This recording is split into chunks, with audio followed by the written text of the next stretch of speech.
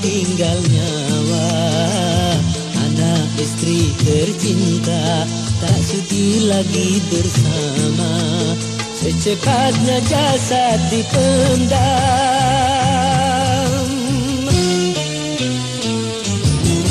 Secepatnya jasad dipendam Karena tak lagi dibutuhkan Diri yang semula dipuja Kini bangkai tak berguna.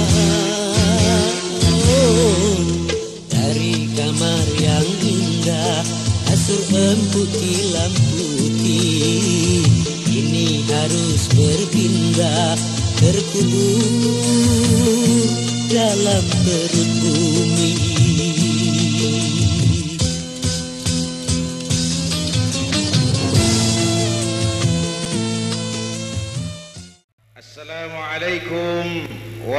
warahmatullahi wabarakatuh. Alhamdulillah Salatu wassalamu ala rasulillah Amma ba'du. Para ulama dan para sesepuh Yang saya muliakan Segenap pengurus dan keluarga besar Permata Hadirin hadirat yang saya cintai.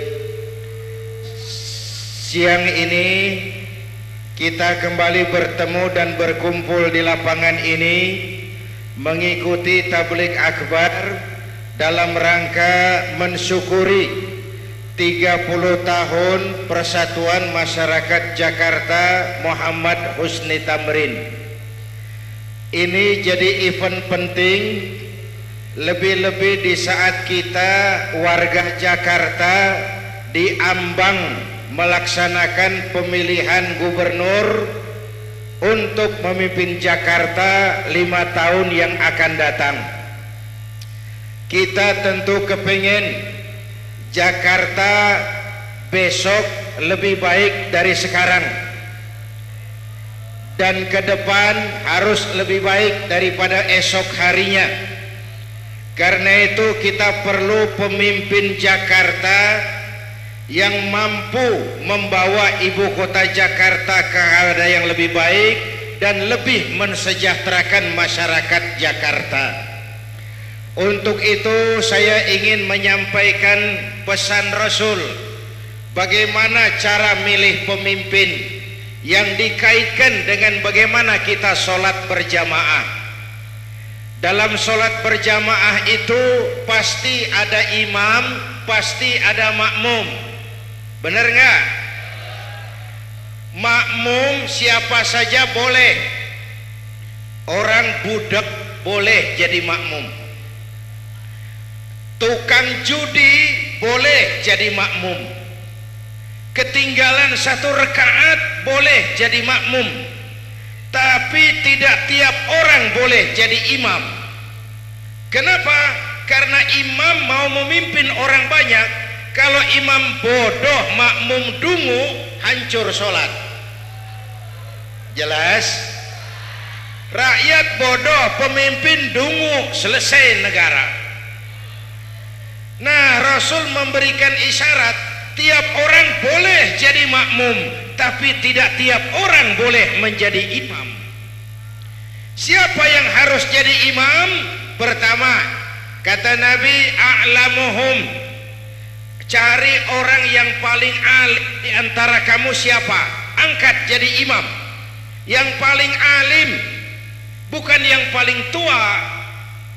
Tua juga kalau kejemur kisut.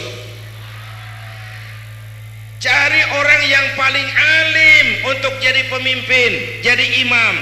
Nah, untuk jadi imam Jakarta yang paling alim tentang Jakarta yang paling tahu persoalan Jakarta mulai masalah tetek sampai masalah bengek. Hei hei. Kalau yang kita pilih mimpin Jakarta orang yang tidak tahu seluk beluk Jakarta hei hei hei.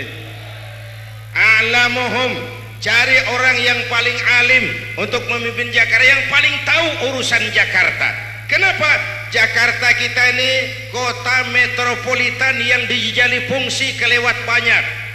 Jakarta ya ibu kota. ya kota wisata, ya kota niaga, ya kota industri, ya kota budaya. Pak, kenapa? Kalau ada dua orang alimnya sama, yang mana yang jadi imam? Kata Nabi afsahuhum, yang lebih fasih lidahnya, yang paling tahu suara hati rakyatnya, yang paling ngerti bahasa rakyatnya.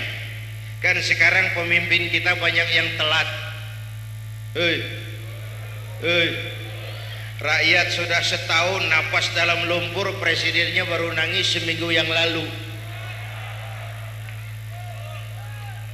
Hei, hei. Ini telat memahami bahasa rakyat. Hei, afsohuhum yang lebih fasih lidahnya pilih jadi imam. Yang tahu betul suara hati nurani rakyatnya tuh maunya bagaimana?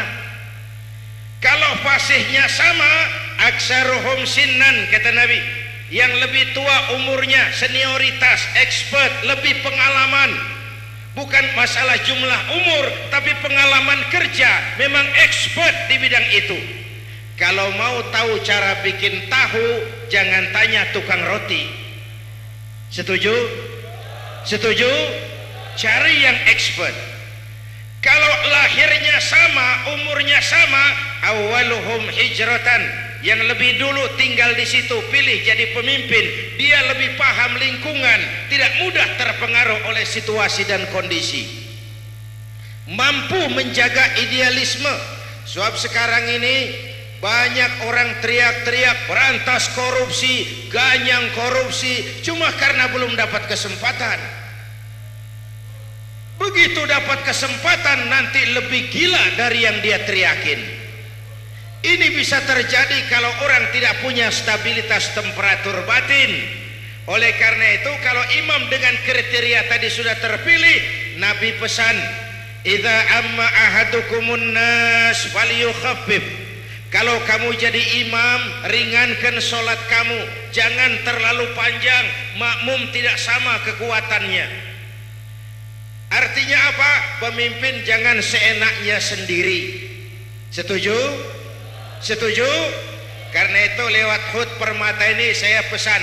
Pertama, kita seluruh warga Jakarta tetap jaga keutuhan, kebersamaan dan kekompakan. Menghadapi pilkada beda boleh, tapi tetap akur. Akur sekalipun beda, beda wa tetapi tetap akur. Setuju?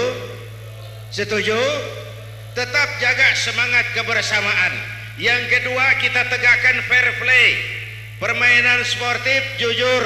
Sehingga dengan demikian semua calon gubernur yang mau maju bukan saja siap menang tapi juga siap kalah.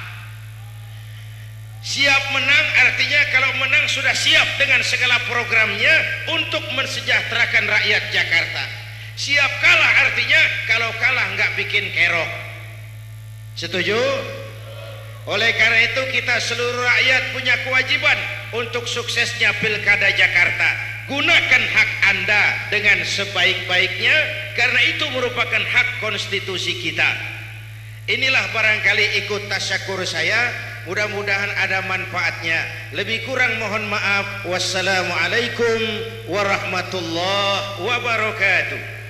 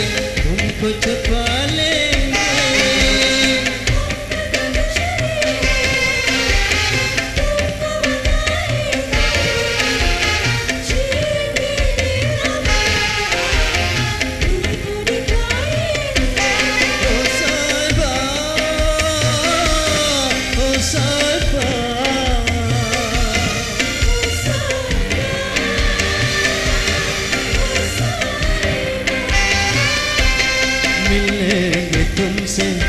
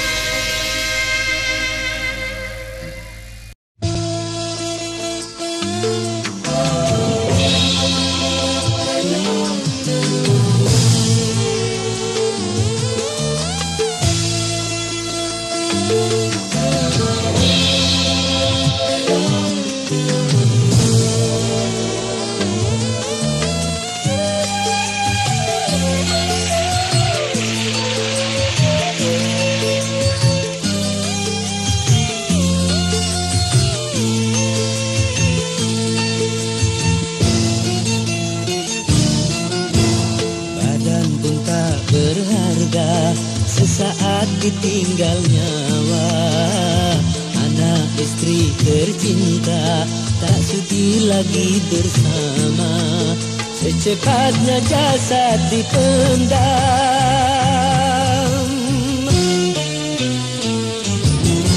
Secepatnya jasad dipendam Karena tak lagi dibutuhkan Diri yang semula dipuja Kini bangkai tak berguna.